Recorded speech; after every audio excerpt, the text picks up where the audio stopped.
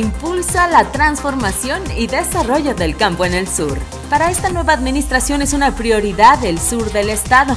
Por ello emprendemos acciones inmediatas, señaló la gobernadora Mara Lezama Espinosa al anunciar que este lunes 10 de octubre se abrirán las ventanillas para que los ganaderos participen en el programa de apoyo para el mejoramiento genético de bovinos, ovinos y caprinos 2022, lo cual permitirá adquirir sementales con registro genealógico y evaluación genética. Noticieros Teleurban.